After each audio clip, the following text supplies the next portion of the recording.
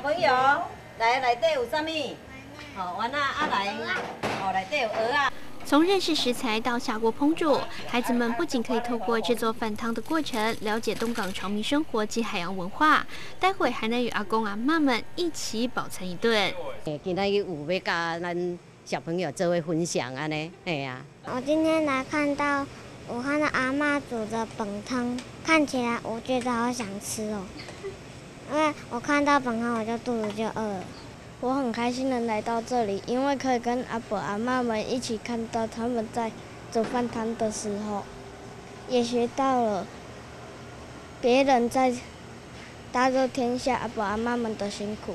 我学到了怎么那个本汤里面有什么料。孩子们分批到访社区烹煮站，了解饭汤的制作过程。各个皆表示获益良多，也能体恤长辈的辛苦。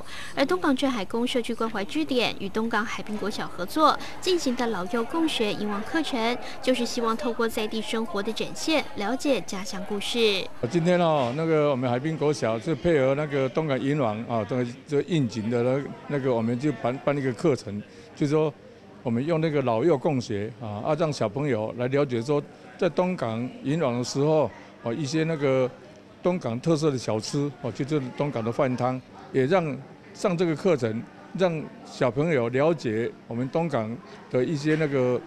海洋文化里面那个长民所经常在食用的一些那个小吃，将饭汤在职校内，同时也是校园的老幼共学据点，让长者与孩子们一起吃银王饭汤，不仅应景，也能提前感受到银王氛围。让小朋友在吃饭，我在本汤盖要叫。我跟小朋友一起吃哦，觉得心理上比较年轻啦，越来越少年了呢。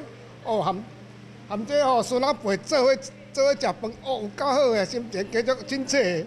今天跟长辈们一起吃本汤，我觉得很开心，然后也有学到东港的文化。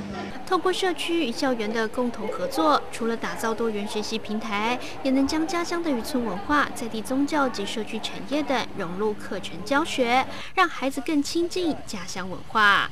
屏东市委听张志豪采访报道。